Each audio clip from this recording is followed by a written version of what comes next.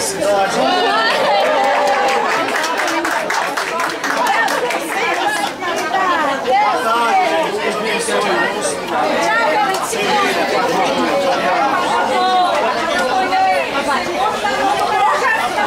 São das flores, quem quiser tirar foto.